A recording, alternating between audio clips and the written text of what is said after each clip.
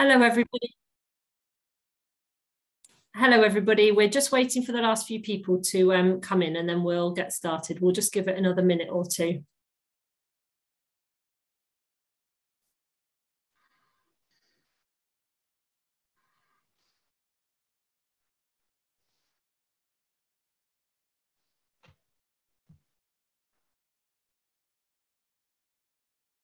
See lots of people coming in still, which is great. Oh, do you want your camera? Yeah, I don't care. Jules in the background, do you want to move?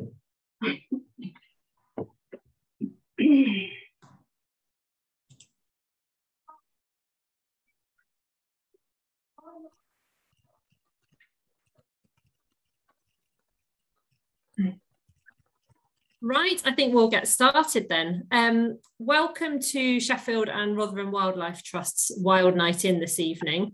Um, it's really good to um, see so many people have joined us this evening and thank you very much for joining us. Um, I'm Alison Gardner and I'm Head of Fundraising and Communications at the Trust. Um, just a few little bits of housekeeping before we start. Um, we are going to be recording the session. And so if you don't want to appear on the recording, then please make sure that your camera is off. Um, and we'd also ask you if you keep your microphones for the evening as well, just so that everybody can hear the presentation in full. Um, Liz is going to give us a bit of an introduction and then at the end we're going to um, a bit of an overview and then at the end we'll have time for question and answer. So I'd encourage you to use the chat box on Zoom um, to put in any questions there. We'll collate them all and then we'll ask as many as we can at the end of the session. So yeah, please do use the chat box to ask questions.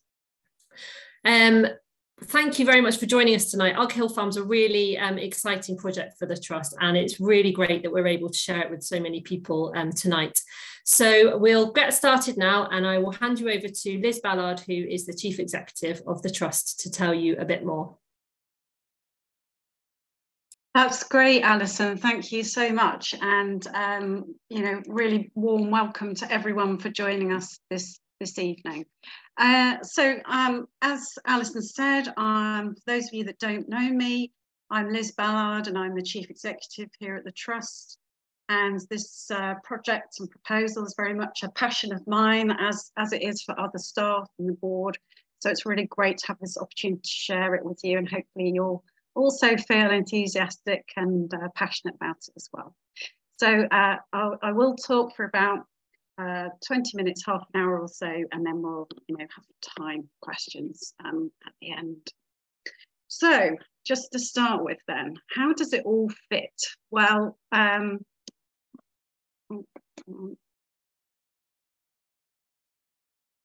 this is a, a, little bit of what I'm going to go through. I'm going to just explain how and why Ughill fits uh, with what we're doing at the Trust um, in Sheffield and Rotherham. And I'm going to provide a bit of an overview of the farm itself um, and talk a little about our vision. Uh, and then I'm going to just explain a bit about how we're funding it, because um, it's a really big project for us, and a bit about how you can get involved as well. If at the end you feel that you want to be part of it, that's fantastic, and we'd really like you to think that you can be. And we'll have the question and answer after that. So to start with, just a bit about why why Ughill, why why are we even doing this? So I just want to stand back and take you back a little bit to um, wider strategy at the trust and what we're trying to achieve. So we have reviewed a lot of the work the trust does in recent years, especially since COVID, and we have our strategy to 2030. And I'm not going to go into lots of detail and bore you too much with all these documents and words, but just to summarize really um, our thoughts on what our important um, priorities and ambitions are for our strategy 2030. And so I've sort of summed this up really in these four ambitions that we have. So these are quite, you know, big ambitions. Um, and I'm just going to briefly run through those. So the first one is about um, tying in to the global targets around that, the UN actually recently agreed through the um, COP15 for biodiversity, which was just before Christmas.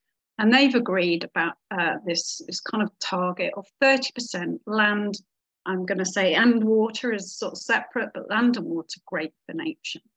So in effect, um, the UK has signed up to this. We locally are supporting this and thinking about how do we contribute in Sheffield, in Rotherham, in South Yorkshire to this ambition of 30% land and water great for nature. So that's very much kind of thinking spatially, looking at maps, looking at land and thinking where is that land uh, that's in really good ecological condition or that could be in really good ecological condition to create a nature recovery network, a network for nature. So, so that's that's very much about land.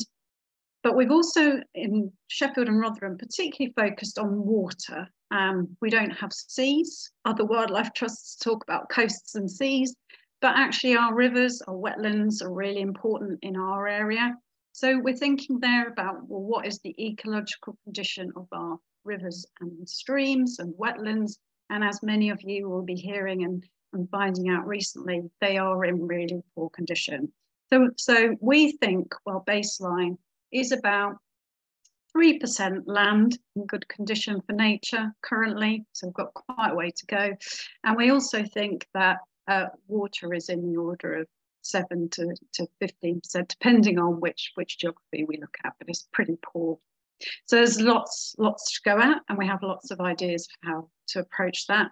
And we'll be talking more about that in the autumn. But for now, uh, just hold the thought 30% land and water great for nature. Also, abundance of wildlife everywhere, because it's not just about the habitat and the land, but it's also about the species and how we support them. So, for example, the moorlands in parts of the Peak District, Moors of the Future have done great work to improve the habitat, but we're not still not seeing some of the moorland species coming back, like such as hen harrier. So we want to see um, clouds of butterflies, massive flocks of birds, things that in the past we thought were um, abundant, were almost pests, have now since disappeared. So abundance of wildlife everywhere. And then uh, one in four people taking action for nature is very much about getting uh, sort of society and community supporting and acting for nature and there's a, a, kind of theory of social change that you need about 20 25% people to be signed up to an idea before it comes a tipping point and becomes the norm.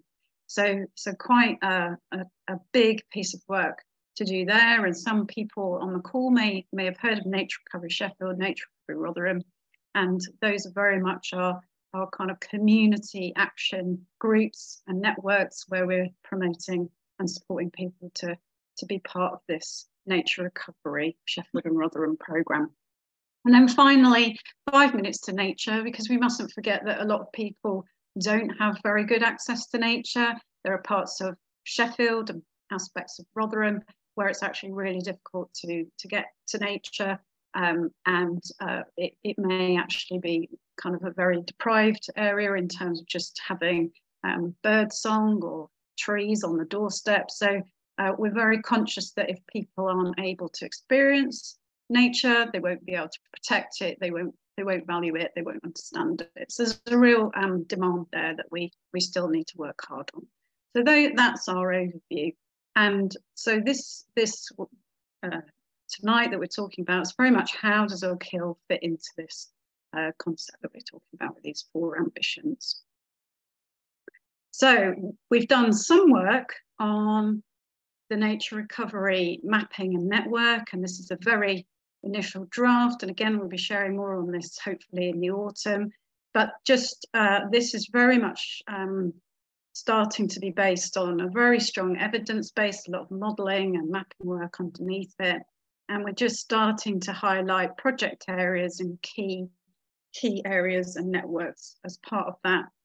And you won't be surprised to know that obviously Hill falls within one of those kind of important priority areas. It also, for, for those of you who are members and supporters and some of our volunteers, you'll be very familiar with the project, the Sheffield Lakeland Landscape Partnership. Uh, and we've just recently launched our kind of next 10 year plan, uh, which um, is the legacy of the project that was funded by Heritage Lottery, but actually the partnership continues. And one of the real successes of that partnership has been, in particular, how we've been able to work really positively with some of the farms within the Sheffield Lakeland area. And these are farms that have done actually some really great things for biodiversity because they're tending to be quite family farms, they're quite small scale, they're quite mixed farming, they're um, not working at an industrial scale. And there, there's um, some really great examples still of hay meadows. So, so there's lots that we've learned and lots of support that we've given to farmers in the area, and we really want to build on that and develop that. So that's um, been very uh, important part of our thinking going forwards. And Ughill Farm sits within the Sheffield Lakeland area. So that's, again, another reason why we're talking about Ughill. And of course, land purchase, uh, which this is, uh, means that the trust has uh, within its um, own kind of decision making uh, and um, its own um, legacy more land for nature recovery. Ultimately, if you own land, you have control over it. So very much owning more land. And uh, I'll tell you a little bit about the size of the, the farm in a moment, but owning more land obviously means there will be more land for nature recovery. But just thinking about the things I said earlier about 30% of land and water great for nature, it's quite clear that we as a trust are never really likely to be able to own 30% of, say, Sheffield or Rotherham or South Yorkshire. That's a lot of land. And when you think that ag agriculture across, I think across the UK is probably something like 70% of land use, um, and then on top of that you have, you know, development and urban spaces, it's quite clear that we really do need to think about land for nature recovery. That may also be with within farming land use. So, so we feel that we can't just think of land ownership.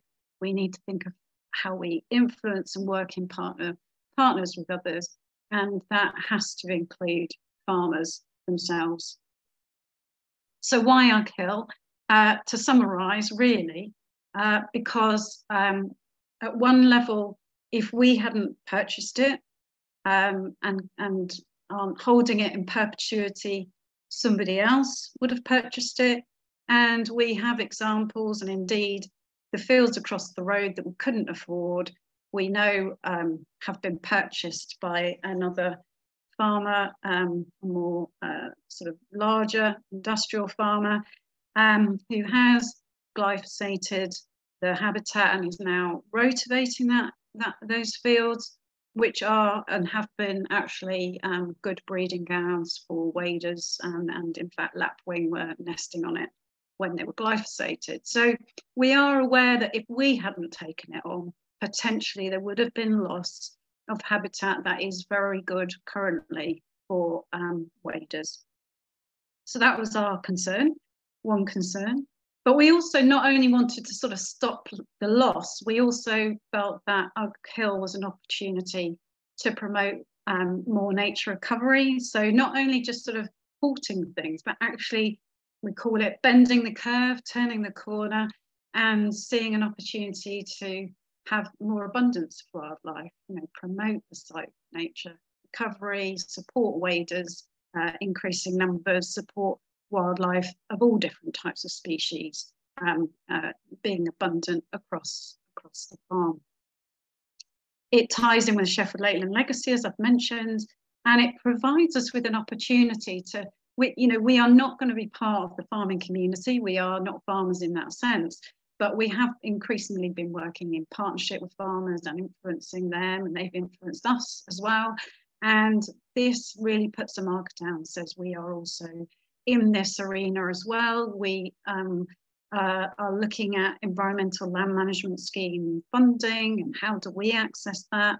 And I guess sharing some of the pain that farmers are currently going through as well, which to some extent we are about um, the changes in regulations and legislation, some, some positive and some very uncertain and unclear. So we we kind of have that opportunity to feel like we're working with farmers and we're we are definitely sort of part of that landscape. And finally, uh, I think it also presents some, some interesting opportunities for us to raise and discuss issues around uh, our relationship with food and nature, uh, food farming and nature, because um, you know farm, farmers are, can be often criticised, um, but they are part in part very much driven by what we demand as consumers in terms of food. Um, and I think there's some going to be some interesting discussions and debates um, at all levels, nationally, globally, and, and very, very much locally as well, about where our food comes from and how that all ties in with climate change and uh, nature recovery. So just uh, looking at the farm a little bit more detail.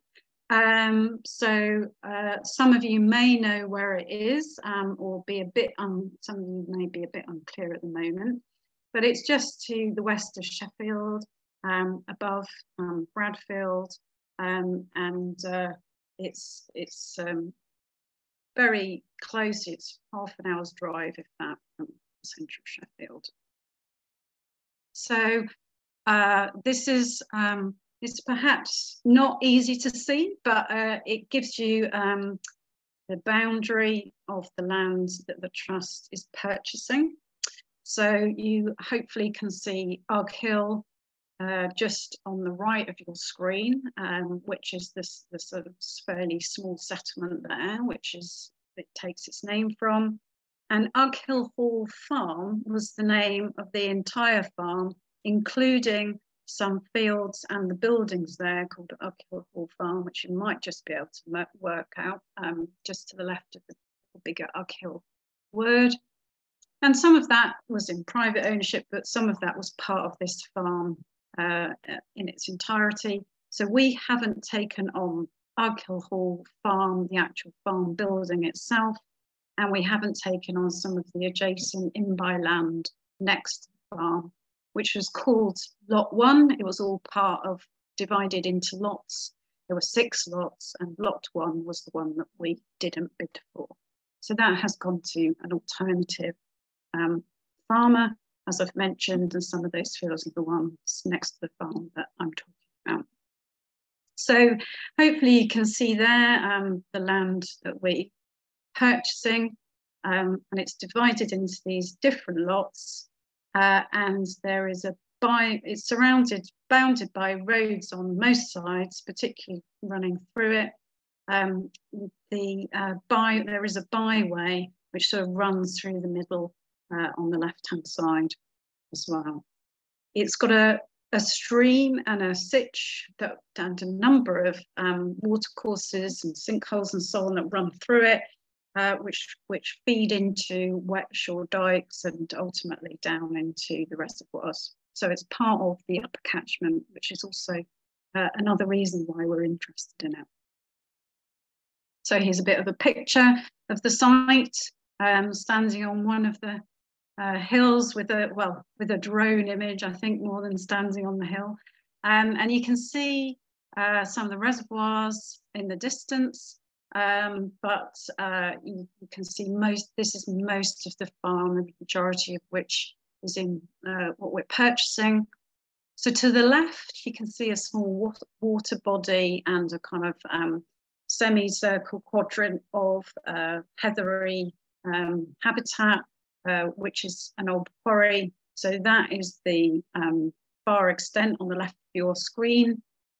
And then there's a piece of triple SI, Site Special Scientific Interest, which is the bit adjacent to it, which is the less green, green sort of field. Then the byway, you can just about make out that sandy lane because it's uh, gritstone. Then you have a series of fields that have been um, modified. They've had probably had um, ryegrass sown, or they've been cut and they've been regularly cut for silage. So um, they've been uh, improved in farming terms. And just over the other side of the road, you can see a square of woodland that is not in our ownership. I believe that's owned by Sheffield City Council. But just to the left and adjacent to that are a number of fields that we do own, so they are within our ownership and they're probably um, the most changed. They are predominantly quite a lot of red clover at the moment. Uh, and then it's um, basically sweeps round to our ownership sweeps round to the right. And then you can start to see there's a sort of strand, stream of um, woodlands that follows that, uh, that West Shore dike, which then, as you can see, goes on and down into the, ultimately down into the reservoir. So hopefully that gives a, a fair overview. And as we come down towards the bottom of the screen, we're moving up uphill into Ughill Moor and ultimately it tips onto uh, land ownership of um, neighbour, which is more into um, Ughill Moor itself.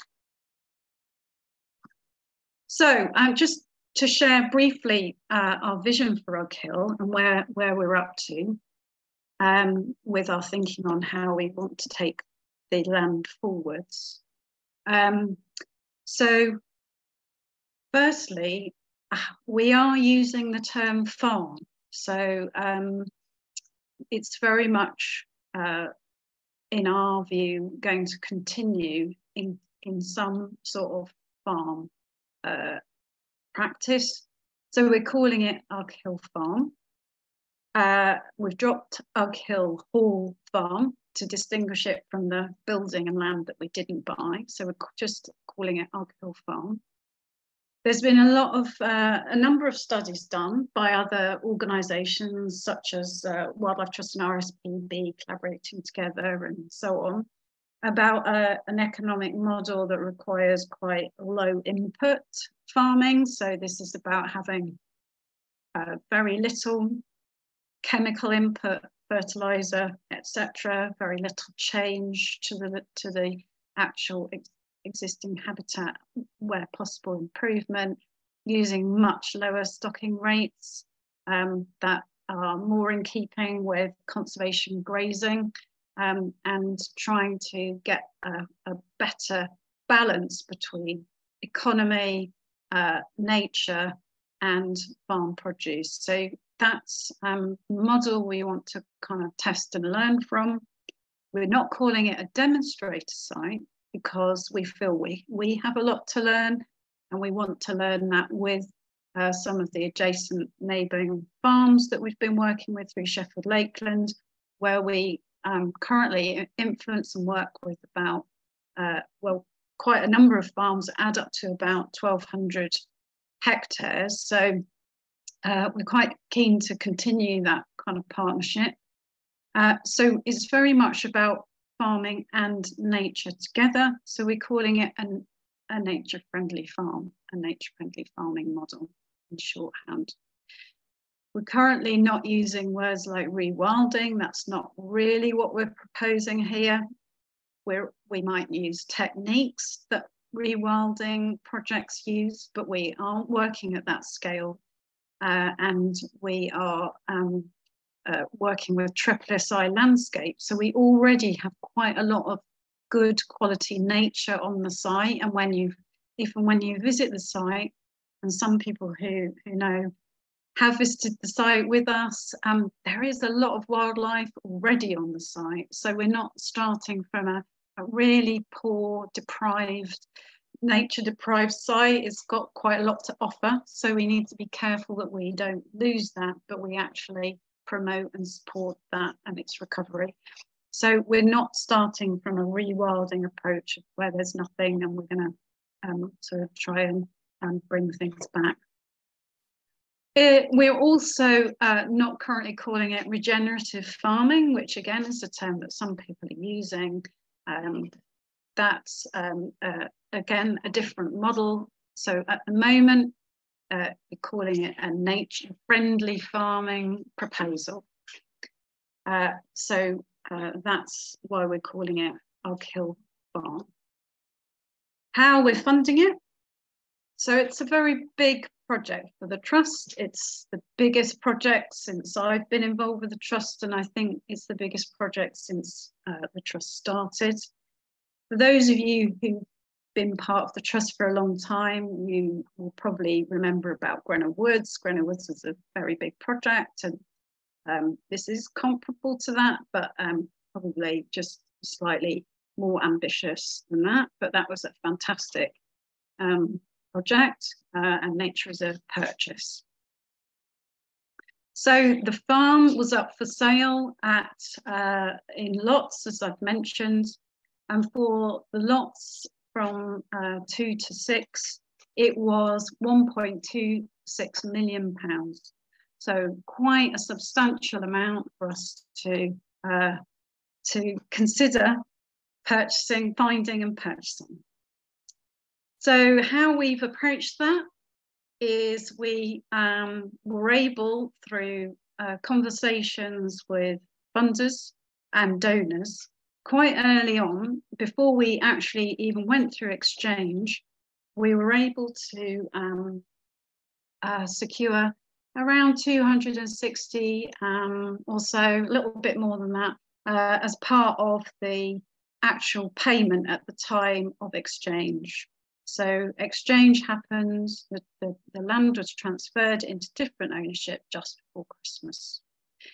Now, when I say it's transferred into different ownership, it wasn't transferred to the trust, it was transferred to a third party foundation. Uh, this is a bit complicated, but I'm just sharing it with you so you can understand where we're up to. Um, so that third party foundation is basically now the owner of the, the site of Ughill Farm. And we are challenged to repay them uh, the money they've spent on the farm uh, over the course of the next two years. So we have a, what might be considered by some to be a loan, but to others is called a financial facility. Uh, and we have 940,000 to pay back uh, in two years. So currently, we've been working very hard, and you've met some of you will have seen Alison at the start of the call. Alison has also been working very hard, uh, and we've already secured quite a significant sum of uh, support, which we're really pleased about.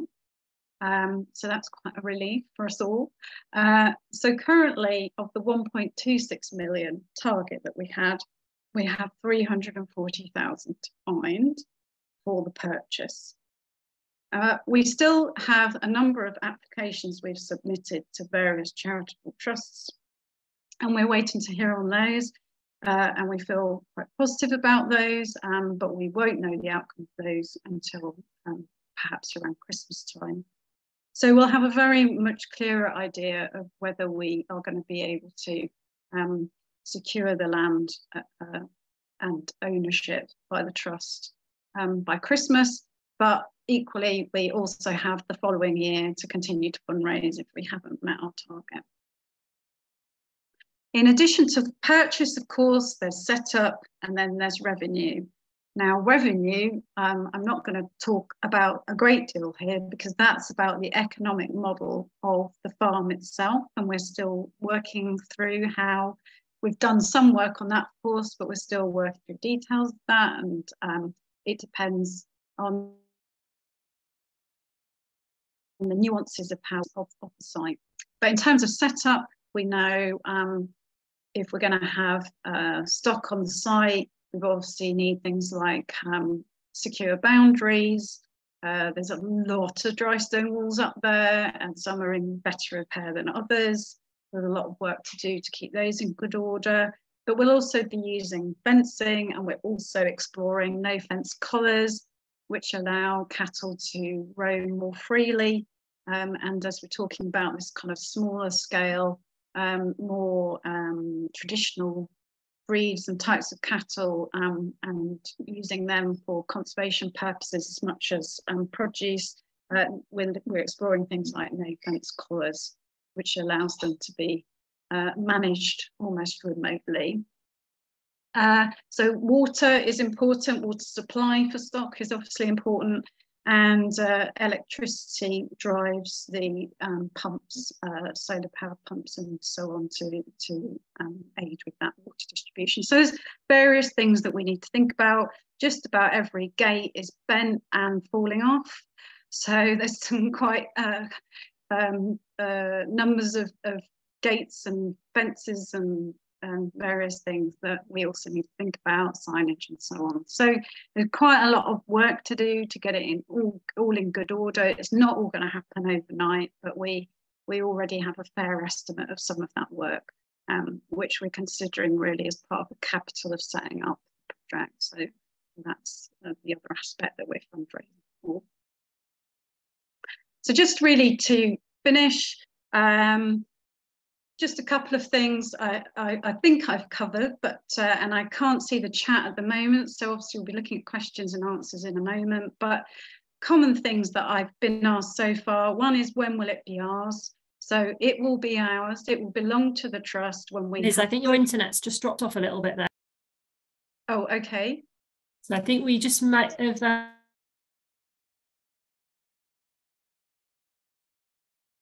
Um, or it might have the last couple, last 30 seconds or so, if it wasn't mine. Can you hear me okay? Yeah, you're all good now, yeah. Okay.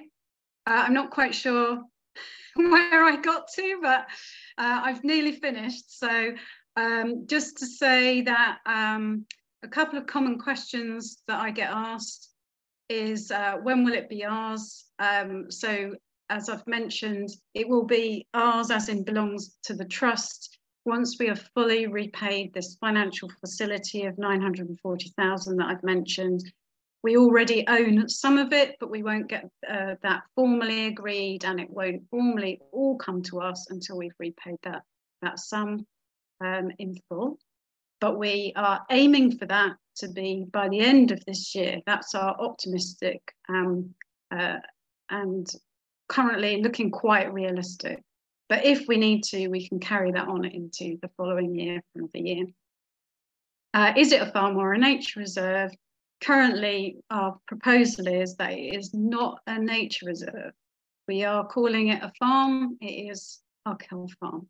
So that is our approach to it. So, uh, which just puts a slightly different complexion for people on how they might see and view the land and be involved in it. And so how can you get involved? Um, well, obviously donate.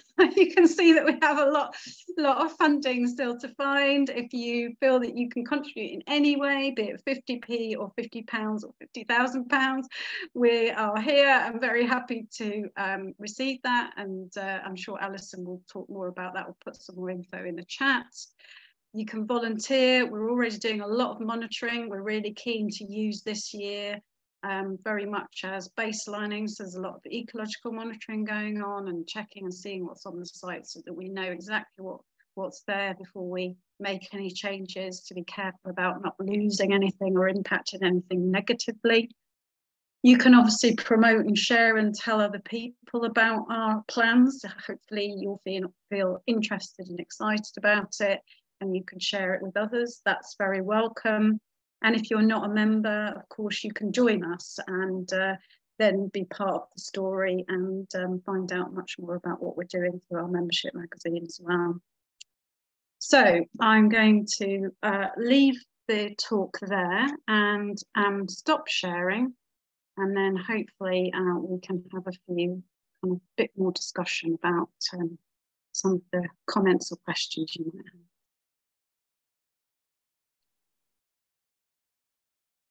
Fabulous. Thank you very much. And sorry, I think that was my internet that was dropping out rather than anybody else's. So apologies for uh, stopping in there. um, we've had a few, quite a few questions. Thank you everyone for putting them in the chat, and please do feel free to put keep putting um, questions in. Um, Nick Thorpe has asked and um, said, last year the clover fields adjacent to Oaks Piece were visited by hundreds of curlew and also a big group of geese. This year there have been no geese and only a few pairs of curlew. How do you plan to recover what was normal when the land had sheep on it and was cut annually? So uh, we have only just taken really taken on the land, and if you've been up there recently, in fact, yesterday the cut has been taken. Um, so it's taken us uh, a bit of time to get to understand what's going on on the farm, uh, and um, yeah, we're, we're just getting into the process of working out what we want to do when. So um, that will be something that we work through this coming year and have in place for next year.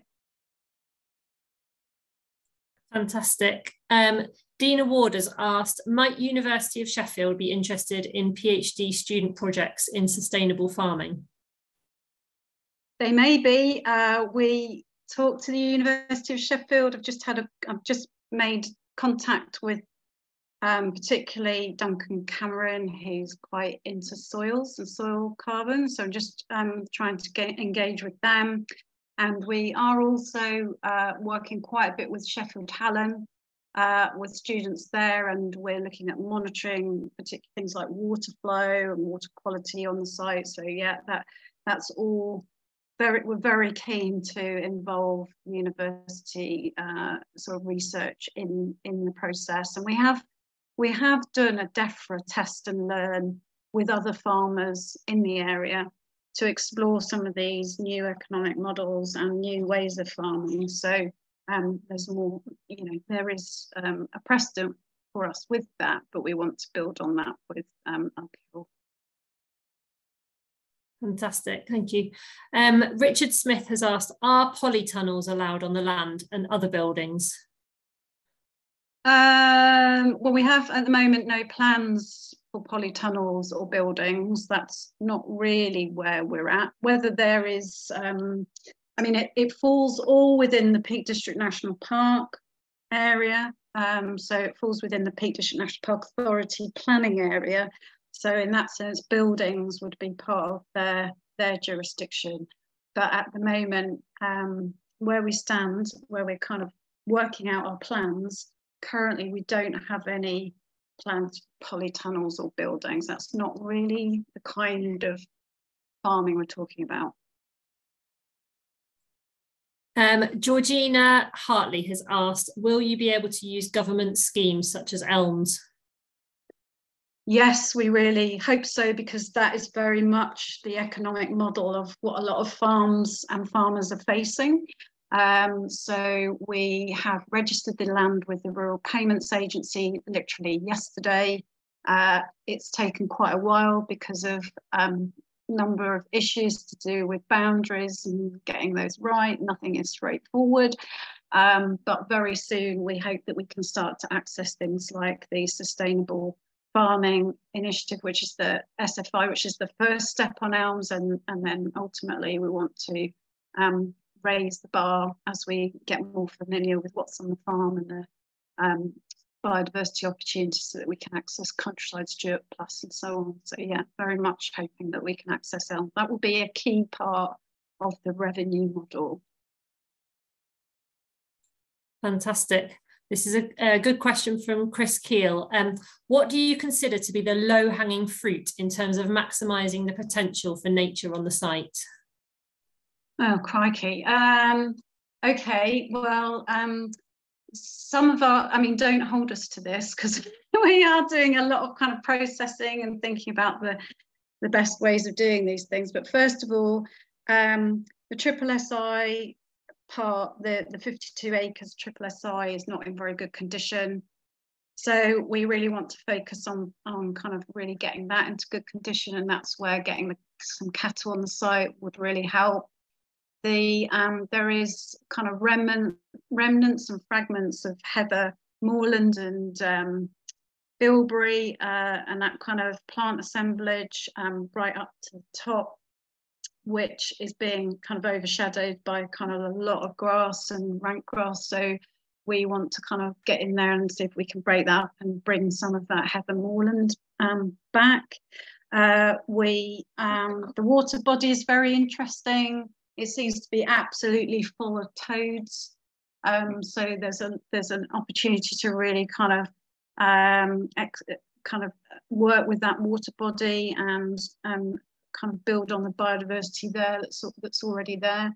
We're also exploring, um, we've, we've got to be really careful because of the waders on the site and somebody's mentioned about the waders and we are kind of thinking quite carefully about how we promote uh, their their abundance as uh, as somebody somebody mentioned um, but the site is quite dry, so in some areas, so we want to look at taking up some of the drainage that was put in and trying to make the site wetter or more, more natural, I should say.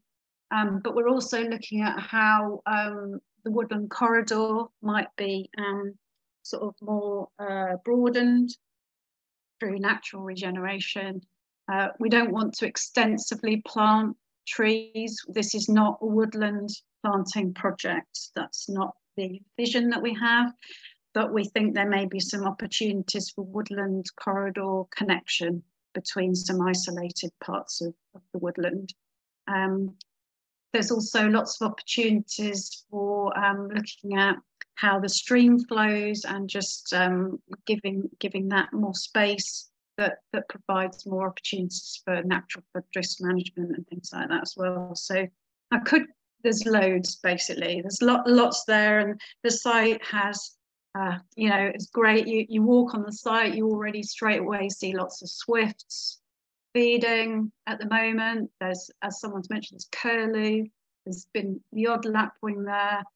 Uh, there's hares breeding. Um, there's lots of setts. So you know, there's a lot. There's a lot to see there. Fabulous. That was a great answer. And um, quite a few people are asking um, a few questions around how the farm will be managed, you know, whether there'll be a tenant farmer or whether it'll be somebody from the trust and how that's going to work. Yeah, so we're just, uh, again, we're just exploring that. We've got about two or three options in mind, which um, really range from, um, it's really to do with to what extent we're in partnership with a farmer, whether they whether some of it's tenanted, whether we're working to a um, contract, or whether we're working in a, some sort of collaborative partnership. Um, we are our emphasis is that we do want to be working in partnership with a local farmer. So it's just really the process of how we go about that and legally how that would work, whether it would be quite a loose relationship or a contractual one. So, so we're just exploring options and we've spoken to informally, we started to work with a number of um, different farmers and talk to them about different ideas. So, so we're just beginning to build that relationship at the moment. Fantastic. Um, Paul Maddox has asked, can you tell us more about opportunities? So, sorry, Alison, I missed that. Opportunities for volunteer involvement, e.g. in baseline monitoring of birds and plants. Sorry, oh, that, did you get yes, that? I did get um, that, yes. yes. Yeah. Yeah, so um, the Trust already runs um, an ecological monitoring programme across its nature reserves, nature counts. Uh, and if you are interested in participating in that or specifically in Ughill, then just get in touch with us. Um, we've got a programme of monitoring we've started. Uh, we, we would love more volunteers to take part. Um, so yeah, just email us on the, um, there's a volunteering at email which um, is on our website. And if, if somebody gets a chance, maybe Alison or Rebecca might put the, the email or the link in the chat uh, please please get in touch and uh, yeah we we can certainly point you in the direction of um, ecological monitoring. Great. And Paul's also asked, presumably there's going to be a major fundraising campaign. Are you able to tell us more about plans for this yet?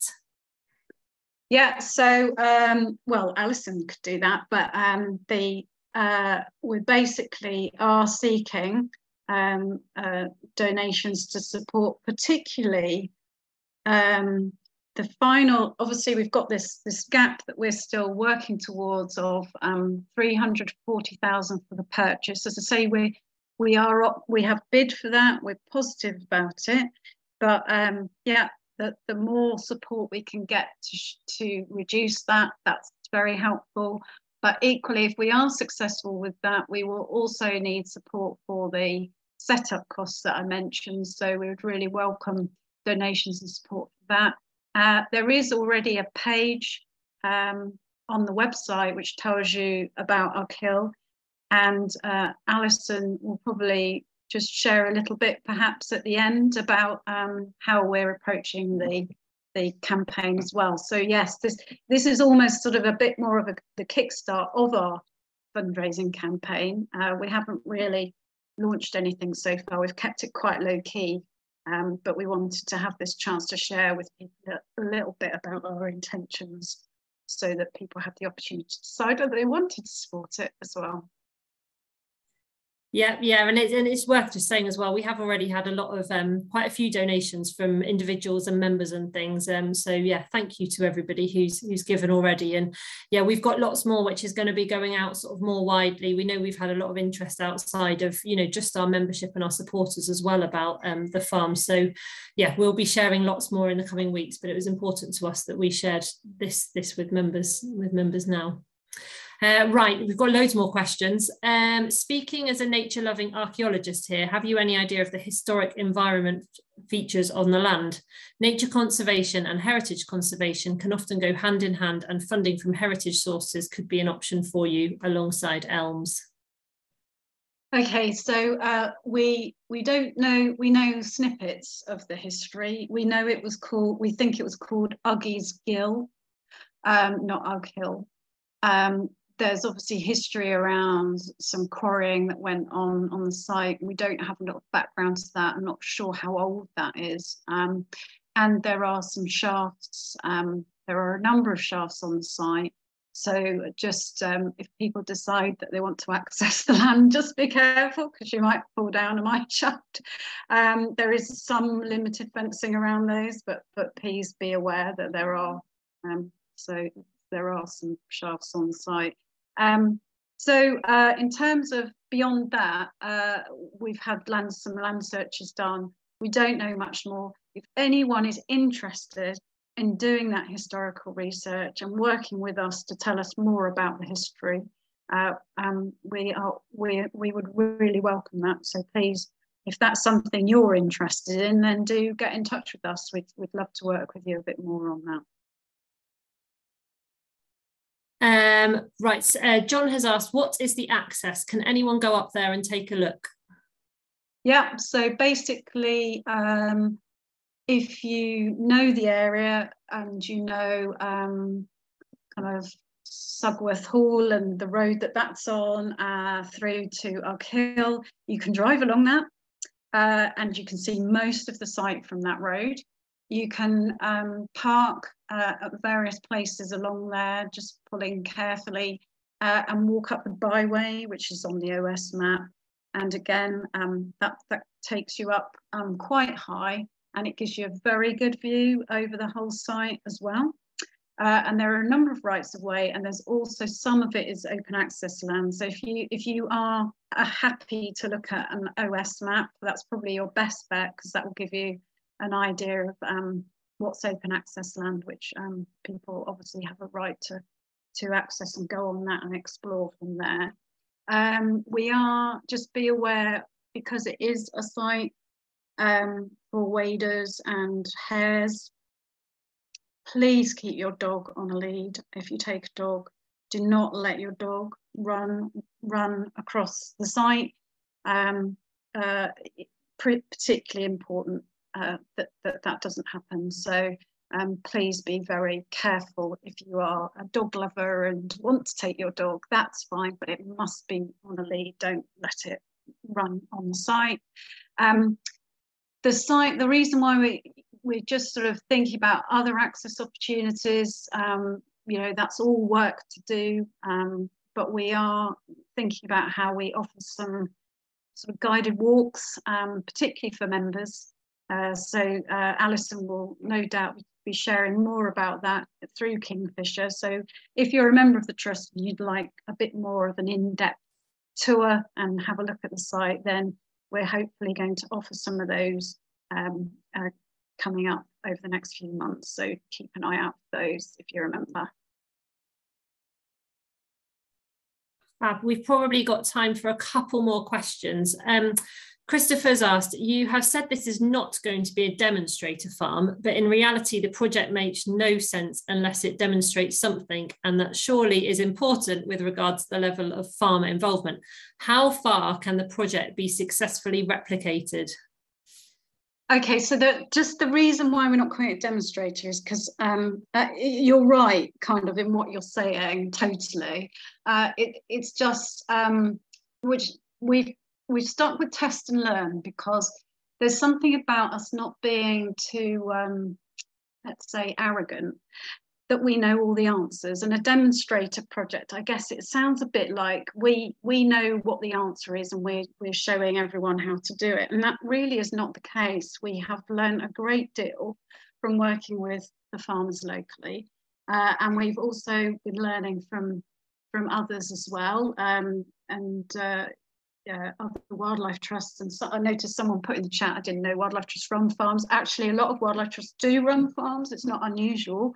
Um, uh, so, so we are learning from others. And yes, ultimately, we very much want to have discussions and site visits uh, with, with and collaborations with farmers.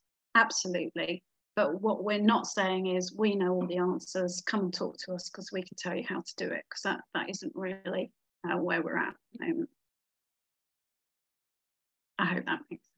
Yeah, that's great. um, there was a question a bit further back. I'm just trying to. Ah, oh, here it is. Will it be used for education um, with school groups eventually? Well, um, ideally, yes, but obviously at the minute there are no facilities. I mean, when you, if and when you go up and have a look at the site, and hopefully you got an impression from that that kind of um, drone view, is there are no facilities. There's nowhere to have a wee you know, and uh, I can tell you school kids, they do like to have a wee. So uh, it's quite, um, you know, that is quite a challenge at the minute, uh, but we are, we'll, we will think about that and think about that longer term. Um, but at the moment, uh, it's not, there's no shelter, there's nothing up there. So, you know, it's not going to happen next year that we'll be taking school groups there fabulous. A bit, maybe a bit more of a tricky one. What is going to happen with the grouse shooting alongside the byway? Uh, that's not on that land. Uh, it must be on the adjacent land, in which case that's entirely up to the adjacent landowner. Um, if anybody's got, I might have missed a couple of questions. So if there's any very urgent last ones, if you could just repost them again, we'll try and get, I think I've got through most of them, or at least other ones that sort of cover things. Um, somebody's asked if, is there scope for hedge planting or renovation on the farm? Uh, I think there probably is some scope for hedge planting, particularly around the byway. In fact, I think a some somebody we're not quite sure who previously has started to put in a, a small sort of treed shelter belt on the byway. So um, there's definitely some more work to do there. So uh, yeah I, I, think there are opportunities for that. But again you know we've not we've not worked all this out. There's a lot it's a big farm we want to get to know it and we haven't sort of uh, planned everything to the last degree but yeah I, I think there's opportunities for hedge planting and as I say for that site expansion of some of the woodland copses that are already up there as well. Fabulous. Um, Wendy's um, reposted a question. How will you clear the infestation of docks and thistles and ragwort, which were not a problem previously, but now give the ground nesting birds nowhere to land? Uh, well, um, as I say, there's been cutting up there recently, uh, literally today um, or yesterday. Uh, so there's been some cutting taken. So um, so that's happened. Fantastic. So I'm just trying to scroll through and make sure I've got everything. A question on the security of water supply to Ughill Hamlet. Just going to see if I can find the original question. Um, so I think this is to do with um, there is a um, a kind of water well that is um, in a water source. I think that's what this this might be yeah, There's a, water, water, there's a sort of water source that that has a convoluted pipe work that goes across the land and then um, supplies a number of properties. Um, so uh, part of our setup work and part of our responsibility is to ensure that that um, that water supply, that certainly the immediate surrounding of the well and the pipe work um, uh, is is um, secure. So um, we we will do what we need to do as a landowner to ensure that that's in place. Um, probably more so than previously actually because it's not been in very good condition. So we're looking at updating some of that.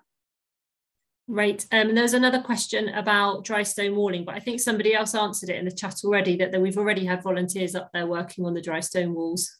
Yeah. We have, and if anyone wants to join some uh, uh, world, um, the world walling volunteers, um, I'm sure they'd be very interested. So again, email using the email that's been shared already, the volunteer email, and uh, yeah, there's lots of walling to go at, so please feel free to, to join them. Fantastic. I think I've covered nearly all. I think I've covered all the questions. Um, if anybody else has got any other questions that they want answering, please um, send them through to us afterwards and we can try and answer them. Or else, um, you know, if we're getting lots of people wanting to know the same sorts of things, we can always put some sort of FAQs up on the website because I'm sure there'll be other people that haven't been able to to join us today. Um, before we finish, Liz, is there anything else you wanted to say before we sort of round off today?